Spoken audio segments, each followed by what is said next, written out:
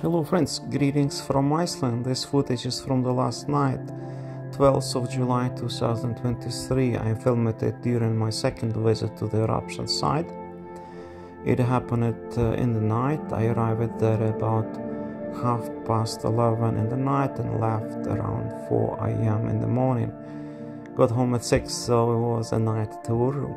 But fascinating trip because at night you can capture beautiful footage and beautiful sunset colors. We have polar nights now in Iceland, which it makes it really special to be there at night.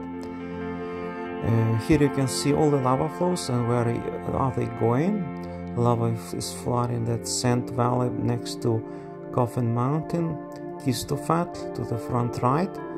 It's a glacial moraine. There is really nothing to harm there. It's just sand.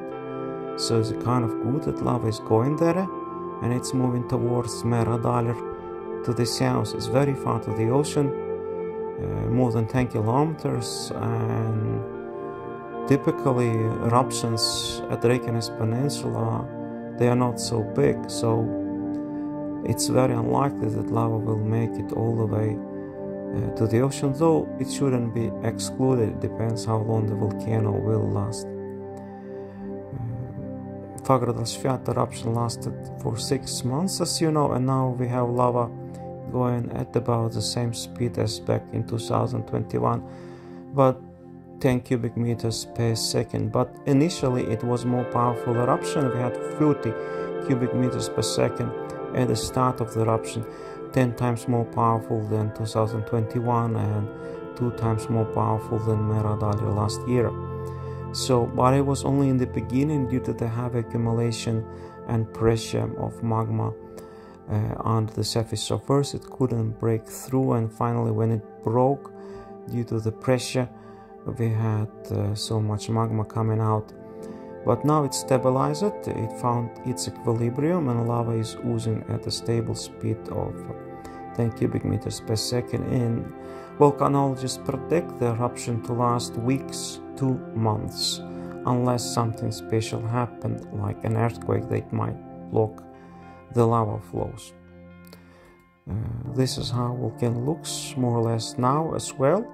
Activity is concentrated at one vent, which is kind of prolonged fissure, and the volcano walls, crater walls, are being built up uh, every day around it. It has one exit point to the south at the moment, but it may change and lava might spill over also um, to the left or right, whatever direction. But it follows similar patterns uh, as eruption of Skjoldur. It's flowing over the the lava flows from 9,000 years ago. Uh, there is heavy emission of CO2 right above here, above the crater. Uh, at the start of the eruption, we had 3,000 tons of CO2 carbon dioxide em emitted into the atmosphere every five hours. Now is less, but still it's dangerous to be hit by CO2 plum.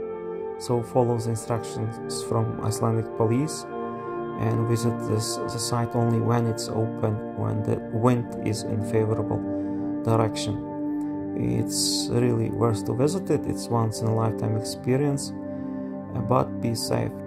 God bless you all. Be well and all the best. Enjoy the video.